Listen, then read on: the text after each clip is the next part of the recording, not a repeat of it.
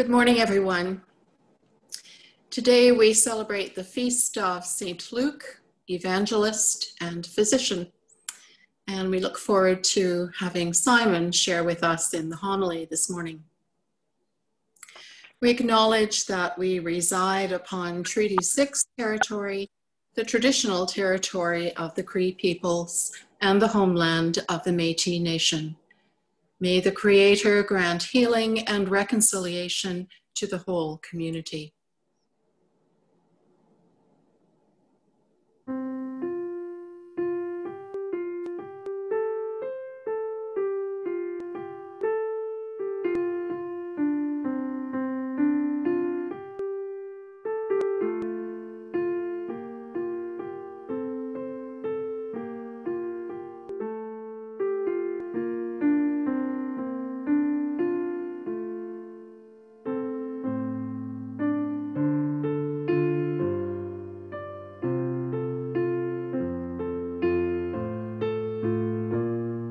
Yeah.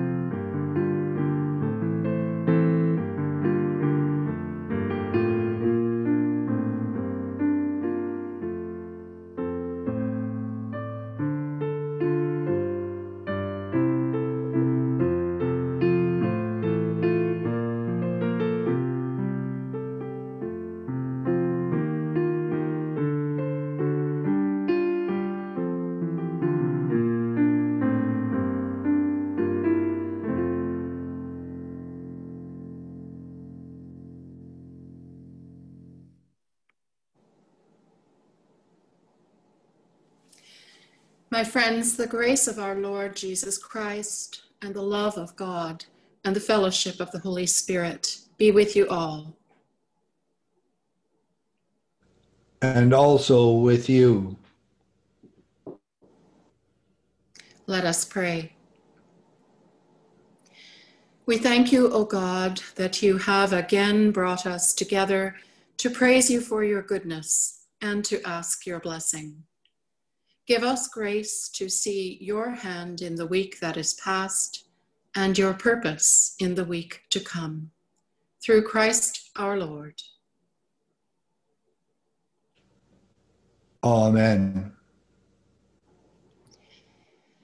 Dear friends in Christ, as we turn our hearts and minds to worship Almighty God, let us confess our sins in penitence and faith firmly resolved to keep God's commandments and to live in love and peace with our neighbor.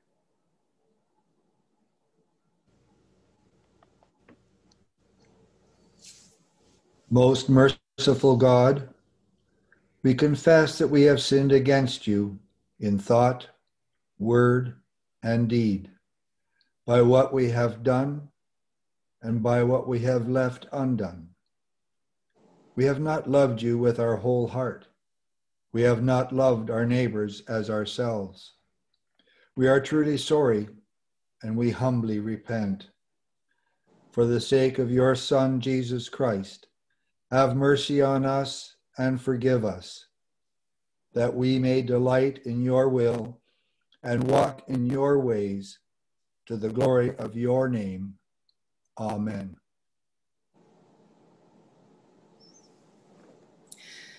Merciful God, grant to your faithful people pardon and peace, that we may be cleansed from all our sins and serve you with a quiet mind.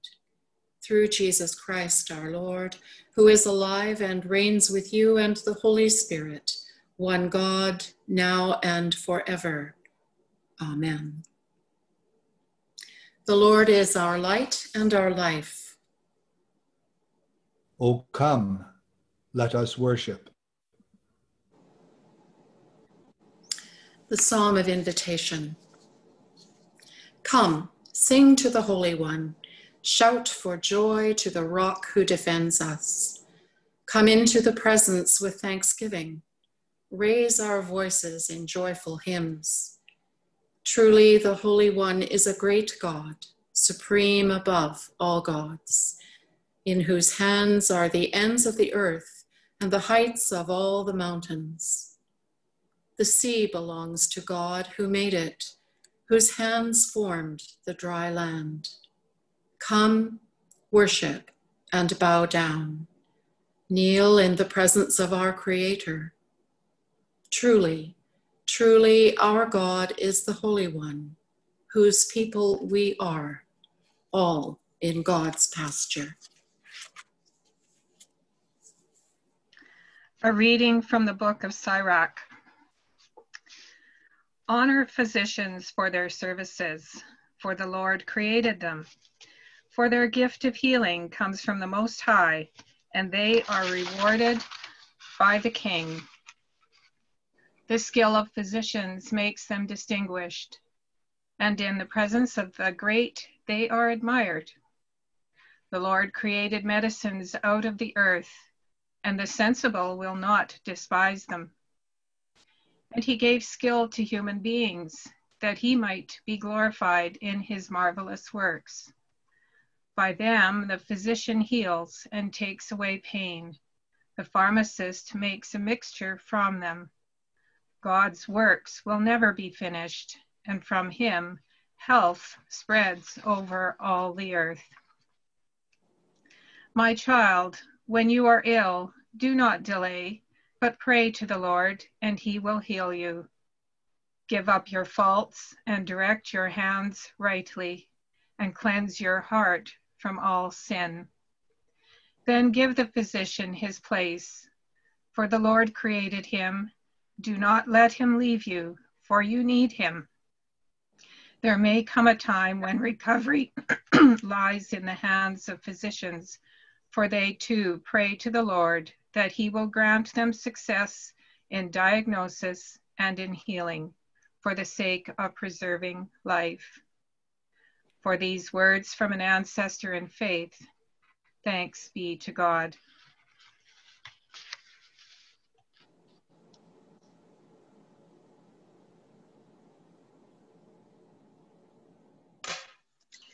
Psalm 147. Hallelujah. How good is it to sing praises to our Lord, to our God. How pleasant is it to honor God with praise. The God rebuilds Israel and gathers the exiles of Israel. The Lord heals the brokenhearted and binds up, binds up their wounds. The Lord counts the number of stars and calls them all by their names. Great is our God and mighty in power. There is no limit to the wisdom of God. God lifts up the lowly, but casts the wicked to the grounds. Sing to the Lord with thanksgiving. Make music to our God upon the harp. Glory to God, source of all being, eternal word and Holy Spirit, as it was in the beginning is now, and will be forever. Amen. The Song of Zechariah. Blessed are you, Lord, the God of Israel.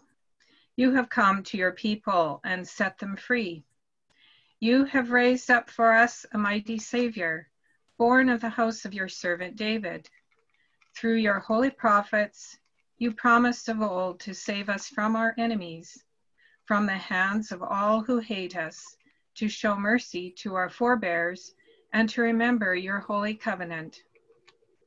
This was the oath you swore to your father Abraham, to set us free from the hands of our enemies, free to worship you without fear, holy and righteous before you all the days of our life.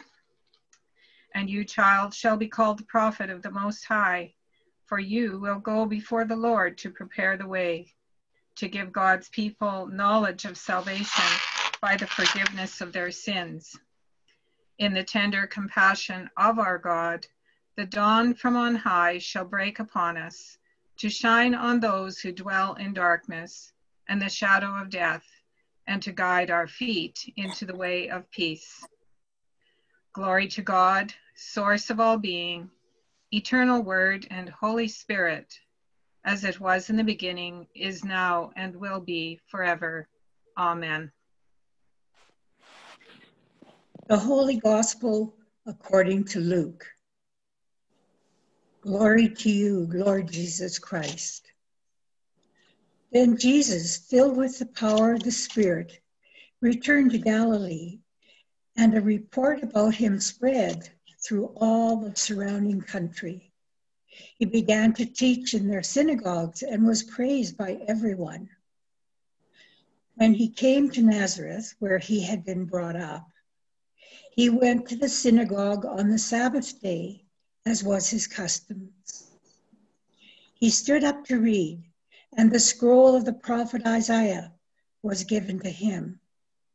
He unrolled the scroll and found the place where it was written The Spirit of the Lord is upon me, because he has anointed me to bring good news to the poor. He has sent me to proclaim release to the captives and recovery of sight to the blind, to let the oppressed go free, to proclaim the year of the Lord's favor. And as he rolled up the scroll, gave it back to the attendant and sat down. The eyes of all in the synagogue were fixed on him. Then he began to say to them, Today this scripture has been fulfilled in your hearing. The gospel of Christ. Praise be to you, Lord Jesus Christ. Let us pray.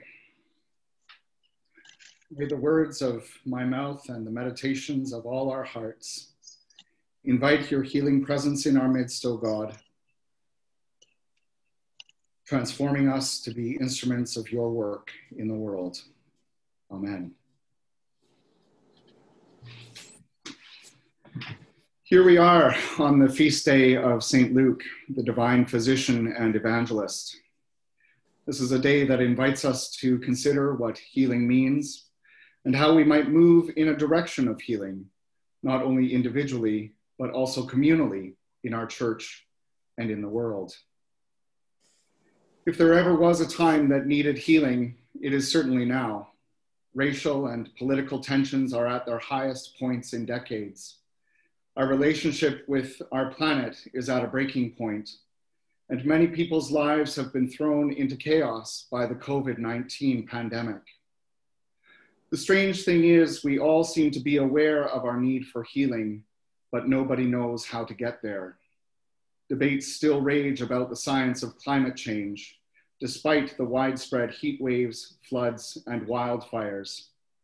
Political polarization continues to increase while people are calling for our leaders to bring us together to meet our challenging times.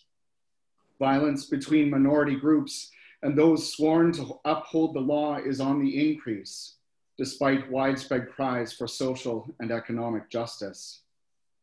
Such times seem to belie the words of Jesus in today's gospel that release for the captives, recovery for sight of the blind, and the oppressed going free is fulfilled among us. If these things are fulfilled, many today don't see it. Such people might, in contrast, want to recite the words of the psalm O Lord, how long shall the wicked, how long shall the wicked exult? They pour out their arrogant words. All the evildoers boast. They crush your people, O Lord, and afflict your heritage. They kill the widow and the stranger. They murder the orphan, and they say, The Lord does not see. The God of Jacob does not perceive. Such might be a psalm for our times. Perhaps it is a psalm for our times because we know what justice ought to look like we therefore know inequality when we see it. When we ourselves experienced it. Our times are indeed full of brokenness, and we ourselves can feel powerless to change any of it. Yes, we can vote, we can participate in protests, we can do our part to, re to reduce our fossil fuel use, and we can contribute money to medical research. But we can also ask ourselves, is it enough? Will all these small contributions do what is needed, especially when our times seem so desperate? We can console ourselves by saying things like, every little effort helps. We just need everyone to do their part. These are easy things to say and believe. But when there is conflict at every turn, when we even disagree over how we recognize truth when we see it, it can seem impossible to build any sense of forward momentum. Conflict, chaos, and division rule the day, and any who try to insert themselves into it often feel they are torn apart by wolves who feast on anything with which they disagree. In such times, we desperately need a better way. We desperately need to rise above the chaos. We desperately need to demonstrate through our very way of being the way of liberation, healing, compassion, and truth that Jesus proclaims in today's gospel. But how in heaven on earth do we get there? Many, in fact, might throw their hands up quickly in despair. Thankfully, our first reading this morning offers us some clues. Our sisters and brothers in the Eastern Orthodox Christian tradition understand the church as a kind of spiritual hospital if we adopt their perspective for a moment, we could see the words of Sirach as addressed to us. Honor physicians for their services, for the Lord created them, for their gift of healing comes from the Most High, and they are rewarded by the King. The Lord, the Lord created medicines out of the earth. By them, the physician heals and takes away pain. Anyone who has had any serious encounter with the healthcare system knows these words to be true.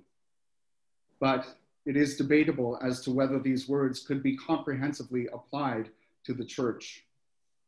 Too often we hear of churches embroiled in scandals, unable to do any good work because of deeply rooted dysfunction, so filled with gossip and infighting that new people rarely darken their doors. Unfortunately, these are too often the realities that come to mind when those outside the church think of organized Christianity. If we in the church therefore believe we are immune from the many spiritual ills challenging our, our times, we are not being honest with ourselves. Yet we have been called to be a hospital to a broken and hurting world, and our faith has given us a way to do this if only we can embody it. As we think of today's gospel, then, it is worth remembering that Jesus' proclamation of his mission came immediately after his 40 days in the wilderness. It is true we commemorate these 40 days during Lent, but when thinking of how Jesus was able to accomplish so much in three short years, we cannot help but remember how he prepared himself for his ministry. We don't know much about these 40 days, other than what the gospel writers tell us.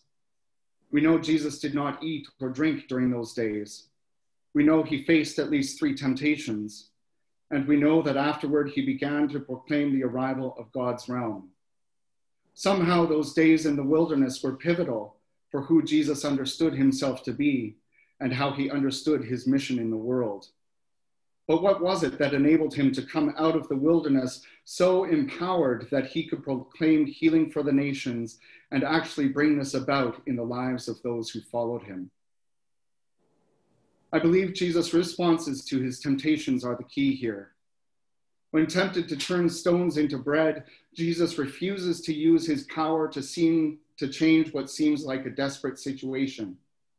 Rather, he trusts God to provide his every need when tempted to throw himself off a very high mountain so God will prove God is on his side, Jesus chooses instead to trust his deep knowing that he is God's son, with whom God is well pleased.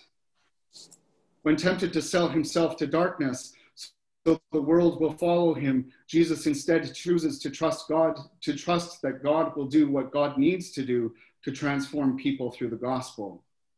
Jesus understands his role is limited.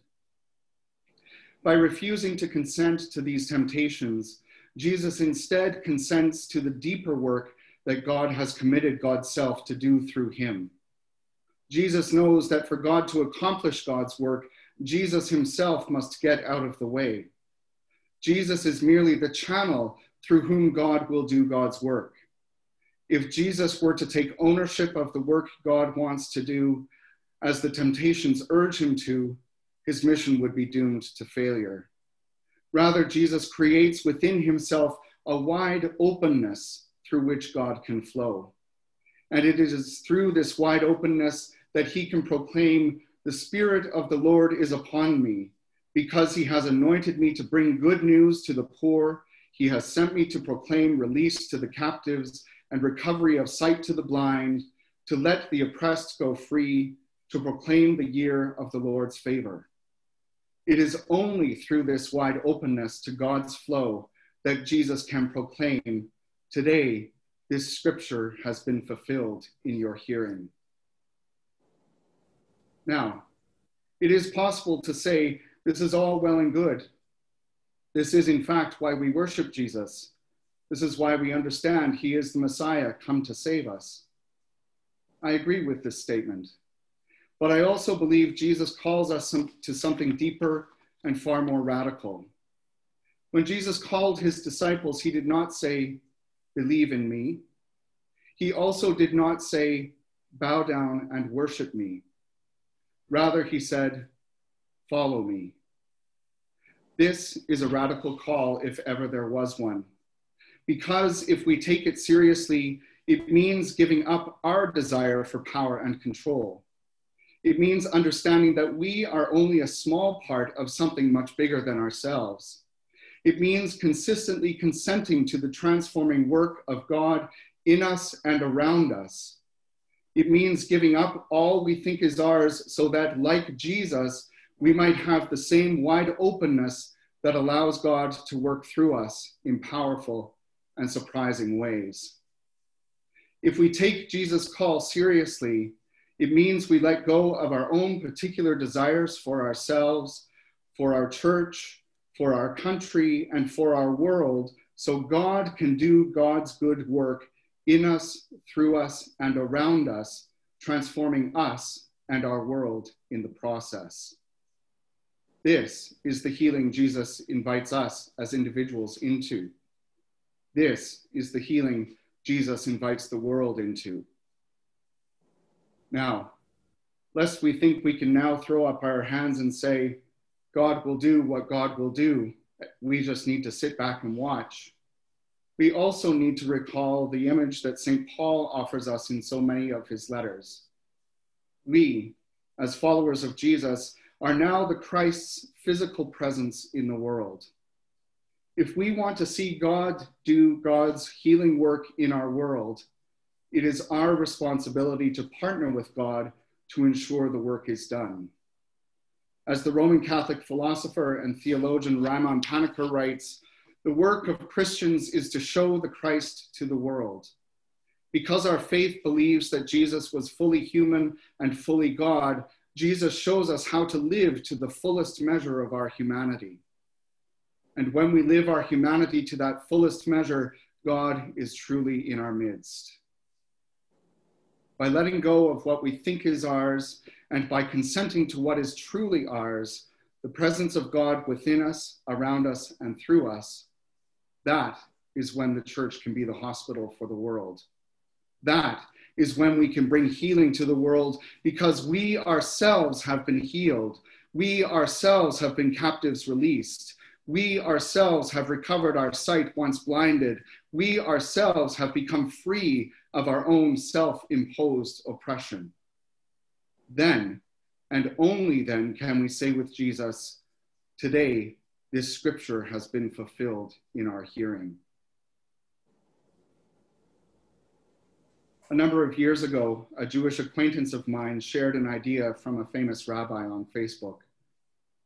The idea was something like this When you experience deep brokenness, take consolation, because it is in your brokenness that you are closest to God.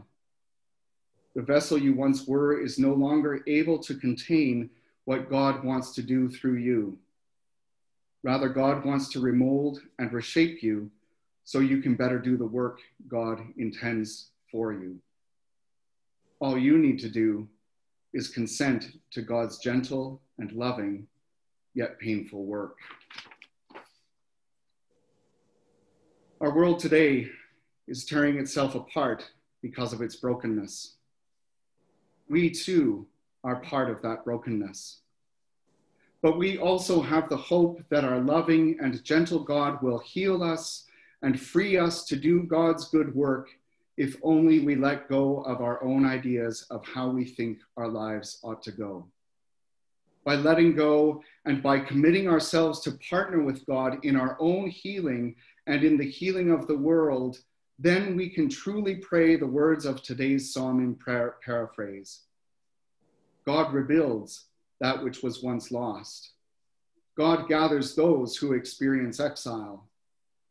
God heals the brokenhearted and binds their wounds. God lifts up the lowly and casts the wicked to the ground. Sing music to God with thanksgiving. Make music to our God on the harp. May our thanksgiving be grounded in our own experiences of being healed. And may we bring our experiences of healing to the world around us so, so we too can see parts of Jesus' mission fulfilled within our own lifetimes. Amen.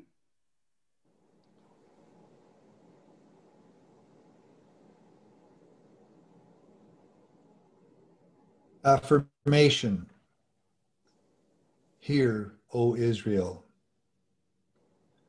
Hear, O Israel, the Lord our God, the Lord is one.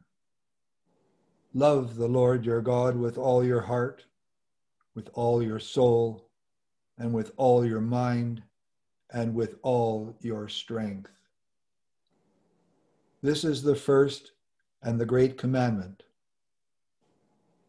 The second is like it love your neighbor as yourself. There is no commandment greater than these.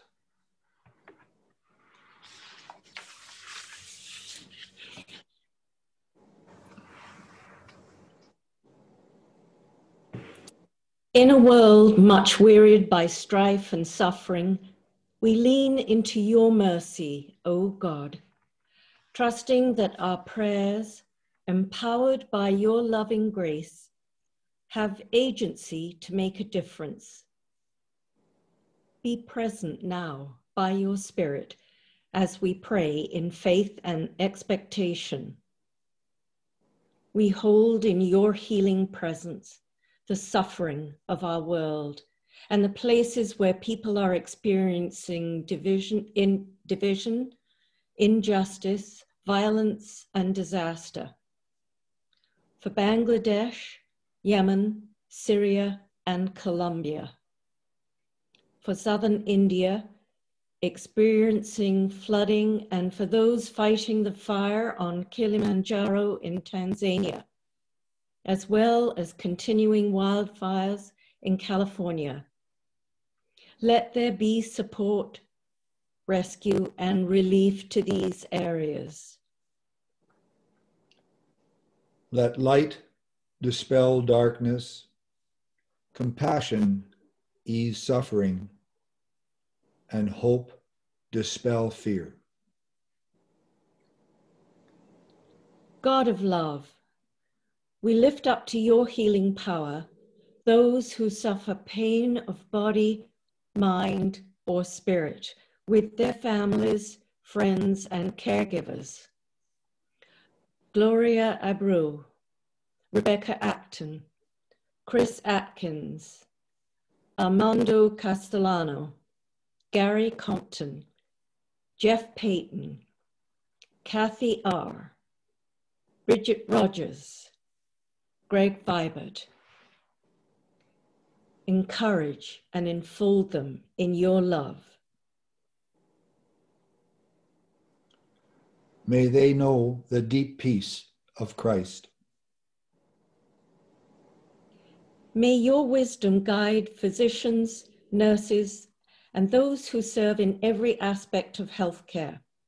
We give thanks for family doctors, physiotherapists, dentists, psychotherapists, and all whose skills support and aid us and those we love. For all complementary therapies and those who offer them. For midwives, doulas, and palliative teams. For paramedics and all who serve in emergency services. For all who seek to ease the suffering of others, we give thanks. May they know the deep peace of Christ. We give thanks for the family of your church and for the sacraments which nurture our lives. Today, we lift up to your grace Rose Mackay, along with her parents, Manda and Jordan, as they present Rose for baptism at St. George's Ukrainian Orthodox Church in Dauphin, Manitoba. Be with Mary and Doug, her loving grandparents, as they support this step from a distance. For all infants and young children and those who care for them, we pray your tender care. May they know the deep peace of Christ. We lift up to your wisdom and grace our Emmanuel community. In this time of pandemic and transition, asking strength and courage for all engaged in leadership. Let hearts and wills be open to what is true, what is possible, and all that points to wholeness, both for individual members and for the common life we share. And in this process, may we know the deep peace of Christ.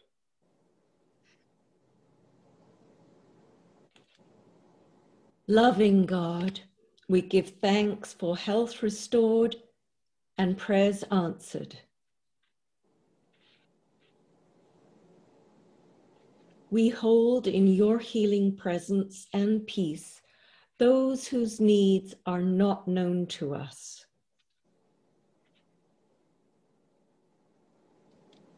And we name in our hearts those who are close to us.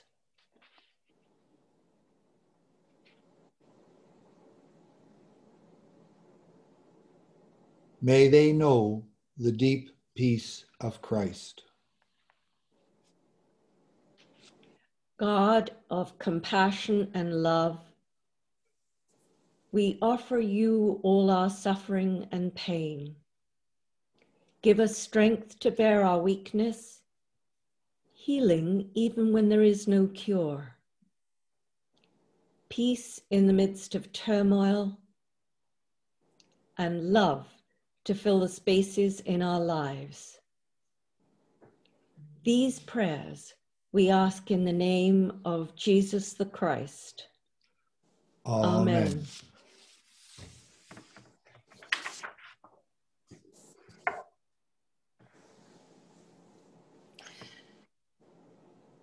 My friends, we are the body of Christ.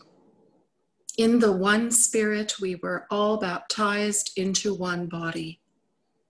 Let us then pursue all that makes for peace and builds up our common life. The peace of the Lord be always with you. And also with you.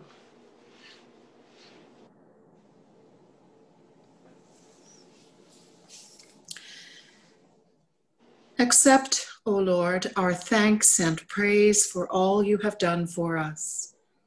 We thank you for the splendor of the whole creation, for the beauty of this world, the wonder of life, and for the mystery of love.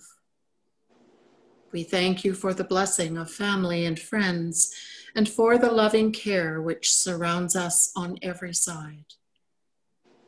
We thank you for setting us tasks which demand our best efforts, and for leading us to accomplishments which satisfy and delight us. We thank you also for those disappointments and failures that lead us to acknowledge our dependence on you alone. Above all, we thank you for your Son Jesus, for the truth of his word and the example of his life, for his steadfast obedience by which he overcame death, for his rising to life again, in which we are raised to the life of your kingdom. Grant us the gift of your Spirit, that we may know Christ and make him known, and through him, at all times and in all places, give thanks to you in all things. Amen. And now, gathering all our prayers and praises into one, let us pray as our Savior taught us. Our Father in heaven, hallowed be your name. Your kingdom come, your will be done, on earth as it is in heaven. Give us today our daily bread. Forgive us our sins as we forgive those who sin against us. Save us from the time of trial and deliver us from evil. For the kingdom, the power, the power and, the glory are yours now and forever. Amen. Amen.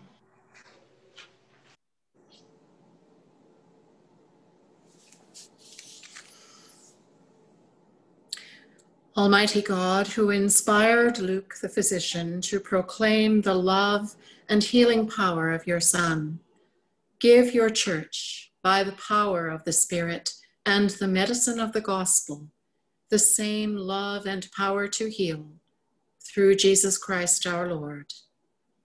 Amen.